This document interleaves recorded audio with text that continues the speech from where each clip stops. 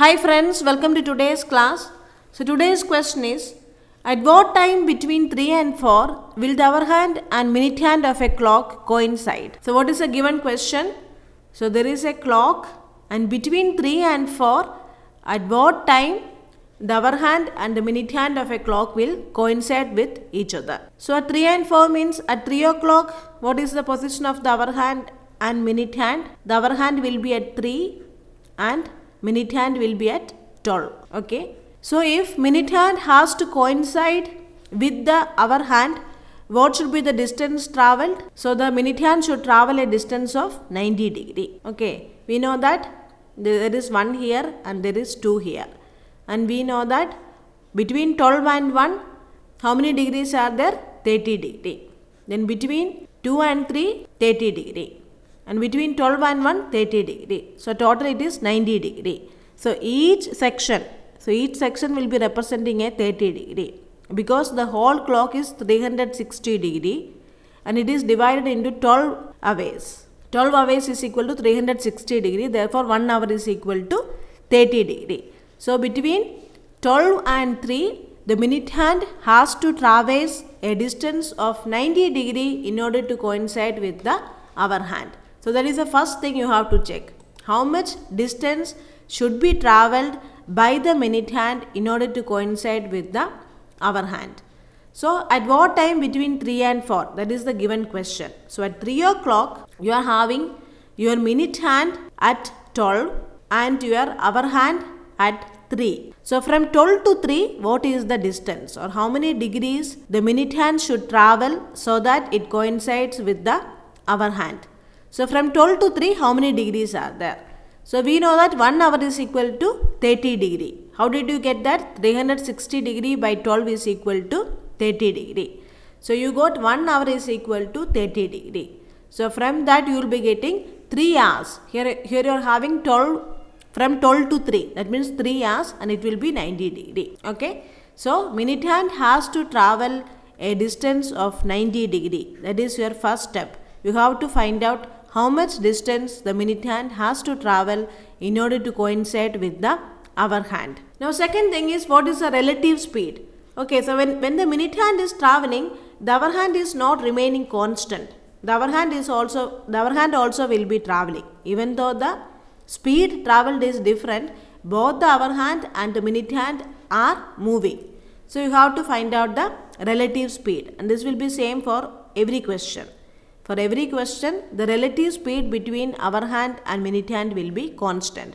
What is the relative speed? How to find that? In the previous video itself, we have talked about the relative speed between the minute hand and the hour hand. So once more I will tell. So minute hand means it is moving 60 minutes. In 60 minutes it is traveling 360 degree. Okay. So the whole 60 minutes is equal to 1 rotation or 360 degree will be travelled in 60 minutes. Therefore, in 1 minute, the minute hand will be travelling 6 degrees. And what about hour hand? Hour hand will be travelling 12 hours. It will be travelling 12 hours only it will be travelling 360 degree. Or simply you can say in 1 hour, 1 hour or in 60 minutes. In 60 minutes it is travelling 30 degree. Okay. So in 1 hour between 12 and 1 there is 30 degree. So 1 hour in 1 hour or in 60 minutes hour hand will be traveling 30 degree. So in 1 minute how much distance hour hand is traveling? In 1 minute hour hand will be traveling half degree. Okay.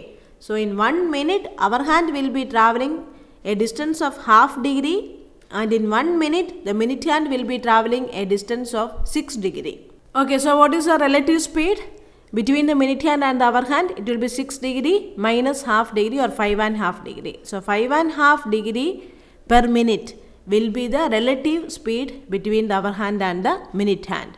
So whenever you are doing these kind of questions, you have to consider the relative speed only. So you can just remember 5 and half degree is the relative speed between the hour hand and the minute hand or minute hand should be traveling with a relative speed of 5 and half degree. With respect to hour hand, the, our, the minute hand will be traveling at a speed of 5 and half degree per minute. So how much distance the minute hand has to travel? 90 degree. And what is the speed you have to consider the relative speed only because both the hour hand and minute hand are moving. So you have to consider relative speed. So relative speed is 5 and half degree. Okay, so now you can find out the time. So time required to travel 90 degree at a relative speed of 5 and half degree will be 90 degree divided by 5 and half degree. Okay, distance by speed will be giving you the time. So 90 degree divided by 5 and half or 90 degree divided by 11 by 2. So what you will be getting 180 divided by 11. 90 into 2 divided by 11 which gives you 180 divided by 11 and this 180 divided by 11 minutes. So what is 180 divided by 11? You will be getting it as 16 4 by 11. Every time, uh, every time you have to express it as a mixed fraction. So you will be getting 180 divided by 11 minutes or you will be getting it as 16 4 by 11 minutes. So the hour hand and the minute hand will be coinciding at 16 4 by 11 minutes. So usually when we say the hour hand and the minute hand, we will simply say they are coinciding at 3.15, at the time 3.15.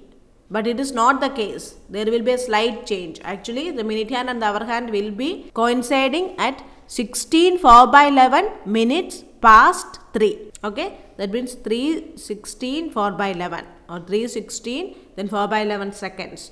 So 316 4 by 11 or 16 4 by 11 minutes past 3 only the hour hand and the minute hand will be coinciding with each other. So for these type of questions you have to find out the distance to be travelled by the minute hand. You have to see the position of the hour hand first then you have to see the position of the minute hand then how much distance the minute hand has to travel and relative speed always will be 11 by 2 degree. Then distance divided by speed will be giving you the time. Thank you for watching.